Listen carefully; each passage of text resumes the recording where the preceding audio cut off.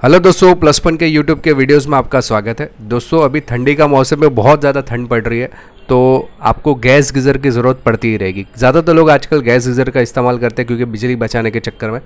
लेकिन ये gas geyser exactly कैसे काम करता है, उसके अंदर क्या रहता है, उसको हम लोग इस वीडियो में समझने की कोशिश करेंगे। याद रखिए वीडियो अगर पसंद आता तो प्लीज़ लाइक और शेयर करना ना भूलिए वीडियो को। जितने ज़्यादा शेयर हो गए, जितने ज़्यादा लाइक आएँगे उसके, इसका पार्ट टू बनाऊँगा जिसमें इसके रिपेयरिंग का भी प्रोसेस में बताने की आपको कोशिश करूँगा। तो दोस्तों, मेरा नाम है निकेत शाह। आप हमसे कई सारी सोशल मीडिया वेबसाइट्स के जुड़ सकते हैं, जैसे कि Facebook Twitter Instagram WhatsApp Telegram ये सब माध्यमों के ज़रिए आप उनसे जुड़ सकते हो। दोस्तों, सबसे पहले शुरुआत करते हैं इसके आउटर लुक के बारे में। यानी गैस गीज़र जो रहता है उसके बाहर की साइड जो हमें दिखाई देती है, उसमें आपको तीन बटन आमतौर पर दिखाई देते हैं। ये तीन बटन को पहले एक्सप्लेन कर लेता हूँ। ये जो बटन आप देख सकते हैं, ये गैस गीज़र का गैस कंट्रोलर का बटन है। यानी इसमें मिनिमम और मैक्सिमम का ऑप्शन आप देख रहे हैं। अगर मैं इसको एंटी क्लॉकवाइज घुमाऊँगा, यानी जो घड़ी घूम रही है, घड़ी की जो दिशा है, उसके विपरीत दिशा में अगर घुमाता हूँ तो ये मिनिमम पे आ जाता है। यानी कि कम से कम गैस का प्रयोग होगा। और गर्म भी उस समय कम होगा। यानी कि पानी जो गर्म बॉइलिंग जो है, अगर गैस का प्रयोग ज़्यादा करोगे तो गैस थोड़ी खपत ज़्यादा रहेगी, लेकिन पानी का जो बॉइलिंग है, वो ज़्यादा होगा। तो आपको यहाँ पे टेम्परेचर सेट करने के हिसाब से आप उसको सेट कर सकते हो। ये बेसिकली टेम्परेचर मतलब जितना ज़्यादा जनरली हम लोग बीच में रखते हैं उसको ज़्यादा भी नहीं रखते, कम भी नहीं रखते, बीच में रखते हैं। जितना जितना गैस की ज़रूरत रहेगा, उतना रहेगा, और उसके हिसाब से हमारा पानी जो है, वो टेम्परेचर मेंटेन करेगा। तो ये सबसे गैस कंट्रोलर का एक बटन है। कभी कभी ये ऑटोमेटिक सिस्टम भी अभी आजकल लेटेस्ट जो गैस गीज़र आता है, जिसमें डिजिटल रहता है, इसमें गैस कंट्रोलिंग जो है टेम्परेचर के ऊपर अनुसार रहता है। तो आप यहाँ पर टेम्परेचर भी सेट कर सकते हो। उसके बाद है वाटर कंट्रोल वाटर का फ्लो कौन सा कितना होना चाहिए? अगर आपके घर में वाटर का फ्लो कम आ रहा है वाटर का जो फोर्स है, पानी का जो फोर्स है आपके घर में जो नल में आ रहा है, वो कम आ रहा है तो उसको मैक्सिमम पे रखिए। बहुत ज़्यादा आ रहा है तो उसको बीच में रखिए। और उससे भी ज़्यादा आ रहा है तो उसको मिनिमम पे रख दीजिए। तो लेकिन आमतौर पर याद रखिए कि इसको मैक्सिमम पे ही डाल के रखते हैं हम लोग, ताकि जो फ्लो एकदम ज़्यादा तो आमतौर पे बिल्डिंग्स वगैरह में रहता है तो ज़्यादा फ्लो नहीं रहता है। गवर्नमेंट का भी पानी आता है तो ज़्यादा फ्लो नहीं आता इस वजह से हम लोग उसको मैक्सिमम पे ही रखते हैं। तो ये आपको समझ में आया दो पहले कंट्रोल्स उसके बाद अगर मैं बात करूँ ऊपर की साइड में भी दो आपको ऑप्शन दिखाई दे रहा है विंटर या समर समर यानी गर्मी का मौसम विंटर यानी ठंडी का मौसम।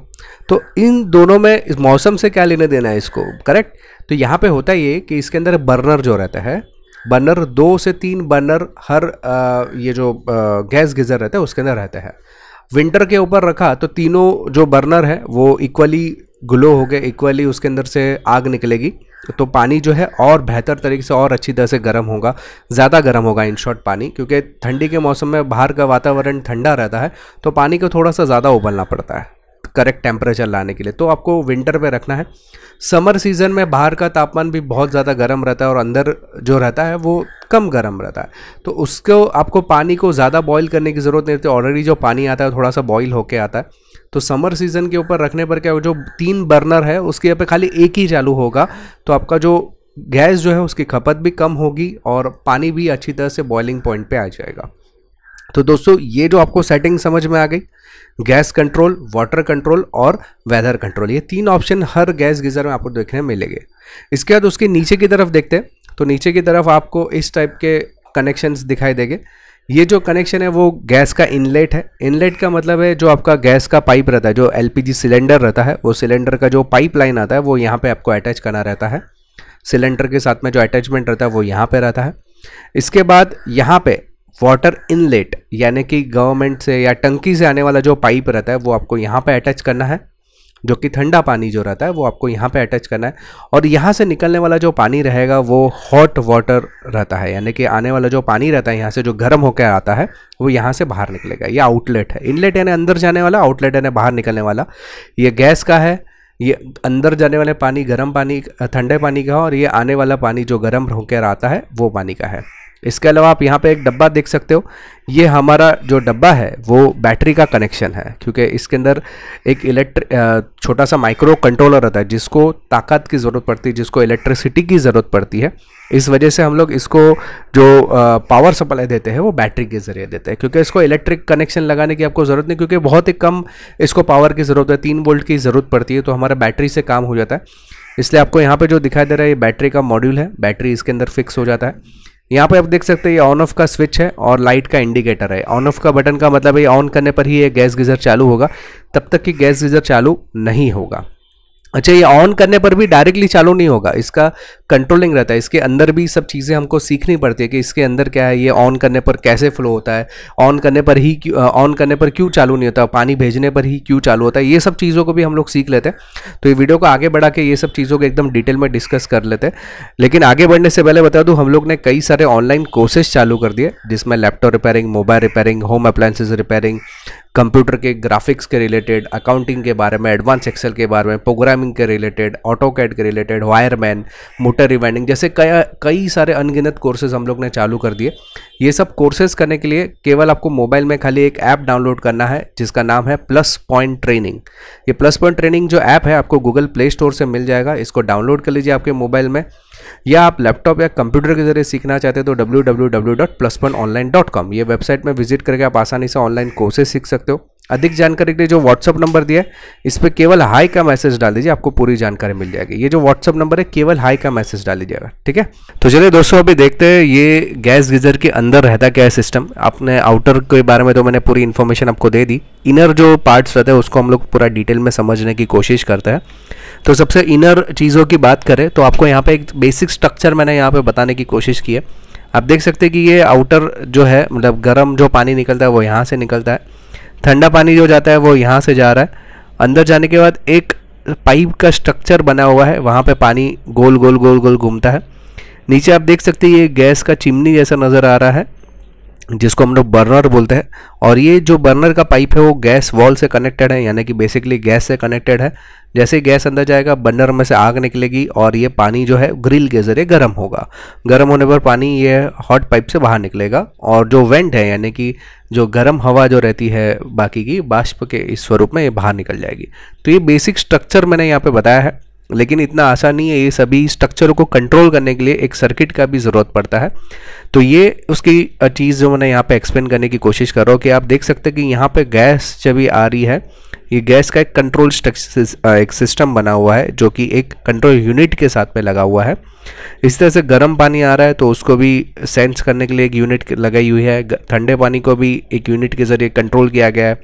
ये आग को भी एक यूनिट के ज़रिए कंट्रोल किया हर एक चीज़ एक सर्किट के साथ में जुड़ी हुई रहती है, जिसको हम लोग बोलते हैं माइक्रो कंट्रोलर सर्किट ओके तो अभी माइक्रो कंट्रोलर सर्किट कैसे काम करता है और हमारा गर्म पानी, ठंडा पानी का सिस्टम कैसे काम करता है, उसको पहले समझ लेते हैं। उसके बाद में हम लोग आगे बढ़ते हैं। तो सबसे पहले हम लोग समझते हैं ये जो बर्नर है, वो कैसे काम करता है। तो सबसे पहले आप ये आप देख सकते हैं बर्नर का सिस्टम यहाँ पे नज़र आ रहा है, जहाँ से आग आपको नज़र आ रही है सब आग है। यहाँ पे इग्नाइटर यानी कि हमारा जो गैस का जो लाइटर रहता है, उसको इंग्लिश में इग्नाइटर बोल सकते हैं ओके और यहाँ पे आप देख सकते हैं कि एक इलेक्ट्रिसिटी का लाइन आया हुआ है, यानी कि बेसिकली बैटरी का लाइन आया है, जो कि एक, ये ग्रीन कलर का मॉड्यूल जिसको कंट्रोल मॉड्यूल लिखा गया है, यानी कि ये माइक्रो कंट्रोलर इलेक्ट्रॉनिक सर्किट है, जो कि हमारे गैस गीजर के अंदर मौजूद रहती है, और उसको सप्लाई हम लोग बैटरी के ज़रिए देते हैं, ठीक है? तो यहाँ पे काम कैसे करता है कि जैसे ही ये गर्म पानी को सॉरी ठंडे पानी को चालू किया जाए, ठंडे पानी के नल को चालू किया जाए और स्विच इसकी ऑन कर दी जाए तो क्या होगा, जैसे ही पानी यहाँ से फ्लो होगा तो ये फ्लो सेंस करेगा। यहाँ पे एक सेंसर लगा रहता है, जिसको हम लोग मैग्नेटिक सेंसर बोलते हैं। ये क्या करेगा कि पानी आया है, वो देखने की कोशिश करें हाँ भाई पानी चालू हो गया तो ये सेंस करके इसको इंस्ट्रक्शन भेजेगा। ये जो कंट्रोल मॉड्यूल रहता है, उसको एक इन्फॉर्मेशन भेजता है, पानी चालू हो गया है करके। ठीक है? इस समय ये कंट्रोल मॉड्यूल करता क्या है? यहाँ पे अंदर आप देखेंगे तो ये लाल कलर का वायर जो है वो अंदर गया हुआ है। ये इग्नाइटर को चालू करता है। इग्नाइटर का मतलब होता है, जैसे लाइटर मैंने बोला कि लाइटर को स्पार्किंग चालू कर देगा। और साथ ही साथ और एक चीज़ को चालू करता है, ये गैस का जो लाइन आपको दिख रहा है नेचुरल गैस लिखा है एलपीजी गैस वो लाइन के वॉल को चालू करवा देगा। जैसे ही ये वॉल चालू होगा गैस अंदर आना चालू करेगा। गैस अंदर आने पर हवा में जैसे ही संपर्क में आएगा या इग्नाइटर में स्पार्क होगा और स्पार्क की मदद से यहाँ पे आग जलना शुरू हो जाएगी। जैसे ही आग शुरू हो गई, एक सेंसर रहता है, ये एक जिसको हम लोग फिलामेंट सेंसर बोल सकते हैं। ये सेंसर सेंस करेगा कि हाँ आग जल गई है। वो इंस्ट्रक्शन दे देगा माइक्रो कंट्रोलर को और ये इग्नाइटर जो है, जो कि स्पार्क हो रहा था, वो बंद कर देगा। ठीक इसी प्रकार से आप देख सकते हैं यहाँ पे स्पार्किंग ये आप देख सकते हैं कि यहाँ पे ये जो आपको दो चीज़ दिखाई दे रही है, ये एक है और एक है। ये दोनों इग्नाइटर है, यानी कि हमारे जो स्पार्किंग निकलते हैं, वो प्लग है। जैसे ही ये फ्रेम चालू हो गया, यहाँ पे आग चालू हो गई तो ये जो वायर है, वो सेंस करेगा कि हाँ भाई, आग चालू हो चुकी है। तो ये जो है, वो इंस्ट्रक्शन दे देगा कंट्रोल मॉड्यूल के, कि आग चालू हो गई और तो इग्नाइटर काम करना बंद कर देगा और आग हमेशा चालू रहेगी। तो इस तरह से बेसिकली काम चालू कर देता है। नीचे कभी कभार पंखा भी लगा हुआ रहता है पंखे का काम रहता है। आग का जो धुआँ है या आग की जो हीट है, वो ऊपर की तरफ़ ही खाली जाए। नीचे की तरफ़ नहीं आनी चाहिए, क्योंकि उसको हवा भी तो चाहिए रहता है ना वेंटिलेशन भी चाहिए रहता है ऑक्सीजन चाहिए रहता है जलने के लिए। तो ये जो ऑक्सीजन उसको देने का काम करता है फ़ैन के ज़रिए उसकी थोड़ी सी हवा दी जाती है।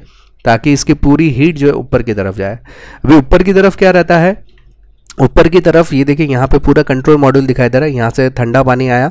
ठंडे पानी को सेंस किया। इग्नाइटर चालू हुआ। गैस चालू हो गया। ये जलना चालू हो गया। जलने के बाद इसका गर्म जो है, गर्मी जो है, यहाँ से ठंडा पानी अंदर जा रहा है तो गर्मी इस हीट एक्सचेंजर बॉक्स के अंदर जाएगा। ये पूरा कॉपर का अंदर पाइप बना हुआ रहता है। हीट एक्सचेंजर बॉक्स करता क्या है कि जैसे ये हमारा जो आग चालू होगा हीट एक्सचेंजर गर्म होना चालू हो जाएगा। गर्म होने की वजह से उसके अंदर जो मौजूद पानी है, वो भी गर्म होना चालू करेगा। और इसका गर्म कितना होना चाहिए टेम्परेचर कितना होना चाहिए, वो भी एक सेंसर रहता है, जो कि हमारा कंट्रोल मॉड्यूल सेंस करने का काम करता है। हमने जिसका जितना टेम्परेचर सेट किया रहेगा, कि इतने टेम्परेचर तक हीट होना चाहिए, पानी उतना हीट होगा, फिर बाद में पानी जो है, गर्म पानी वो बाहर निकलना चालू हो जाएगा। ये आउटलेट वॉल है, जहाँ से पानी आपका बाहर निकलेगा। थोड़ा सा अटपटा नज़र आ रहा है। इस वीडियो को दो तीन बार देखोगे तो आपको ऑटोमेटिक परफेक्ट तरीके से समझ में आ जाएगा। दोबारा एक बार शॉर्टकट में दोहरा देता हूँ कि ये कंट्रोल मॉड्यूल है, जिसको micro controller module electronic circuit रहती है इसके अंदर, जिसको सप्लाई दिया जाता है हम लोग बैटरी के ज़रिए। ठंडा पानी जैसे ही आएगा फ्लो सेंसर उसको सेंस करेगा, इस मॉड्यूल को चालू करवा देगा। मॉड्यूल चालू होने पर इग्नाइटर यानी कि लाइटर चालू हो जाएगा। और गैस चालू हो जाएगा। गैस और लाइटर की वजह से यहाँ पे आग जलना शुरू हो जाएगी। जैसे ही आग जलना शुरू हो जाएगी, लाइटर काम करना बंद कर देगा। हवा फ़ैन चालू हो जाएगा ताकि इसकी हीट जो ऊपर की तरफ़ जाए। पानी, ठंडा पानी अंदर जाने पर ये हीट की वजह से गर्म होना शुरू हो जाएगा धीरे धीरे धीरे। और जैसे ही गर्म होना चालू कर देगा, इसका फ्लो को कंट्रोल किया जाता है टेम्परेचर कंट्रोल सेंसर के ज़रिए। ताकि कितना गर्म करना है पानी को, वो टेम्परेचर सेंसर मॉड्यूल जो है हमारा वो कंट्रोल करेगा उसको। जैसे ही उसके निर्धारित टेम्परेचर पे आ जाएगा, पानी बाहर आना शुरू हो जाएगा और गर्म पानी आएगा बाहर। तो दोस्तों, ये तरीका जो है, हमारा गैस गीज़र जो है, काम करता है। आई होप कि वीडियो आपको पसंद आ रहेगा। अगर ऑनलाइन कोर्सेज के बारे में कोई भी जानकारी चाहिए तो मेरा व्हाट्सअप नंबर है। इस पर केवल हाई का मैसेज डाल दीजिए, या मेरा ईमेल आईडी है, जिस पर आप मैसेज भी डाल सकते हो। तो दोस्तों, इस वीडियो में इतना ही। थैंक्स फॉर लिस्टिंग और अगर आपने नए हैं चैनल के ऊपर तो प्लीज़ सब्सक्राइब का बटन दबा के बेल का आइकॉन दबा दीजिए। और ये वीडियो अगर पसंद आता तो लाइक और शेयर करना ना भरिए और साथ ही साथ कमेंट में लिखे कि वीडियो में और क्या ज़रूरत है, और आपको कौन सा वीडियो आगे चाहिए। तो मैं ज़रूर बनाने की कोशिश करूँगा और हमारे वीडियोज़ को इम्प्रूव करने की भी कोशिश करूँगा। चलिए इस वीडियो में इतना ही। Thanks for listening